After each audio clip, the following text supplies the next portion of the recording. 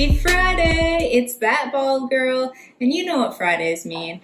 We're in the kitchen making something protein packed to carry us through the weekend. We're gonna need something with all this college football happening this weekend. So excited for football season. Comment down below who you are rooting for this year. I got my Spartans, so go green. Uh, but anyways, to kind of bring in fall, I thought no bake apple pie bars would be the perfect recipe. And this is not my own recipe. This is by Arman at The Big Man's World. So I will post a link in the description below to his website so you can check out this recipe if it looks good.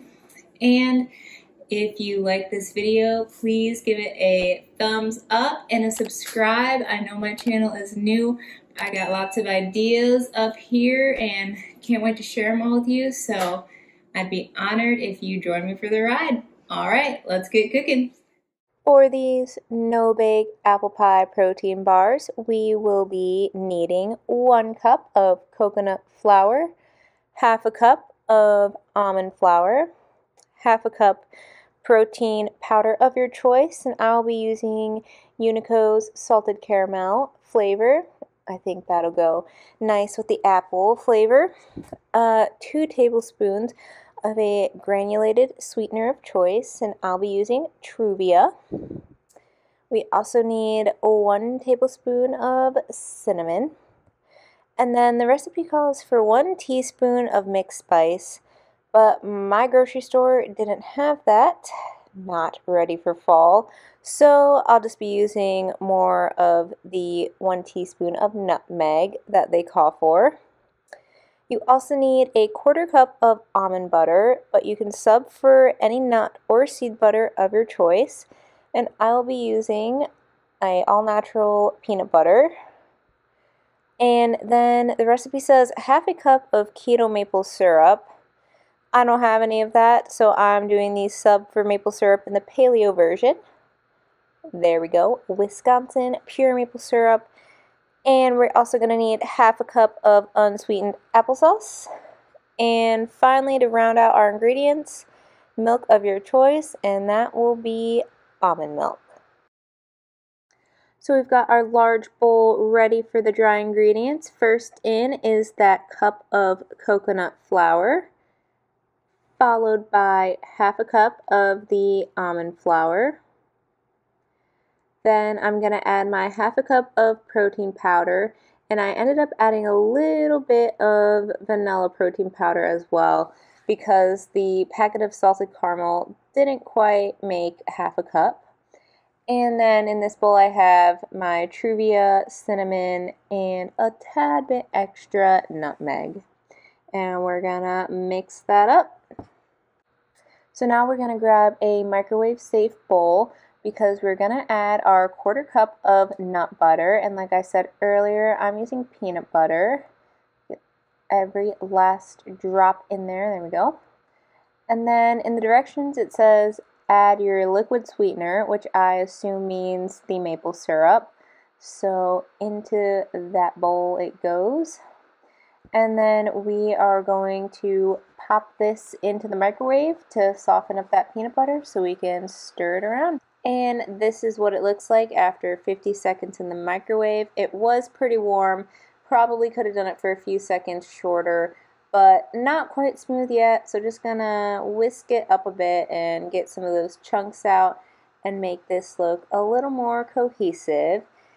And then I added the applesauce a little early. You're actually, the directions say to add the maple peanut butter mix to the dry ingredients, mix it around and then add your applesauce, but it's okay. It's all going to the same place anyways. The time has come for us to combine our peanut butter, maple syrup, and applesauce with our dry ingredients. Uh, shout out to any Star Wars fans. I'm using my Darth Vader spatula to make sure all that goodness gets out of that bowl and into the big bowl.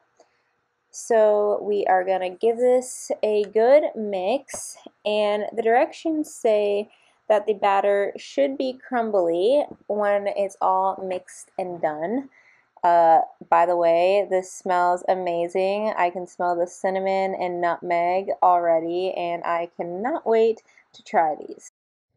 So this is the almond milk's time to shine. The recipe says to add um, the milk of choice one spoonful at a time until thick, firm batter is formed. And while the recipe only called for one tablespoon of milk, I ended up adding three just because it was not a thick formed batter. So now we're going to take that and add it to our pan. And I have a 9 by 9 uh, pan prepared here with some parchment paper and Pam. The recipe doesn't specify what size pan to use. And judging by the pictures, I should have maybe used a smaller pan to get a little bit thicker bars because mine came out pretty thin, but I mean, they still tasted fine. So get that batter all spread out. I ended up having to use my hands and then because it didn't want to eat fingerprints, I smoothed it out with the spatula. And now into the fridge it goes. It says up to 30 minutes. And there she be. Hello, apple pie protein bars.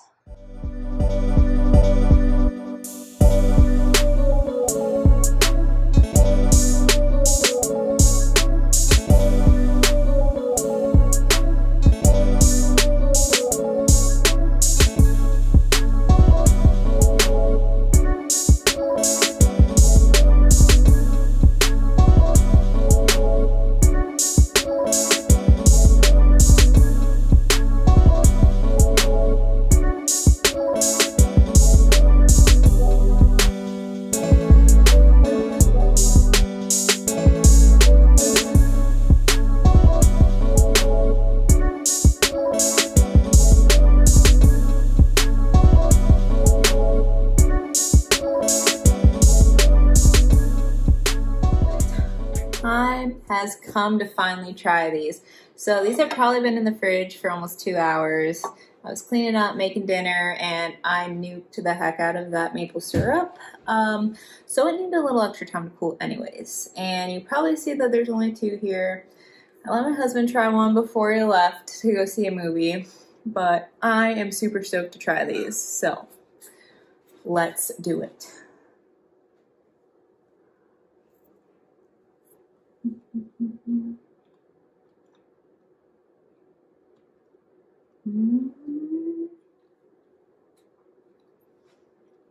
Wow.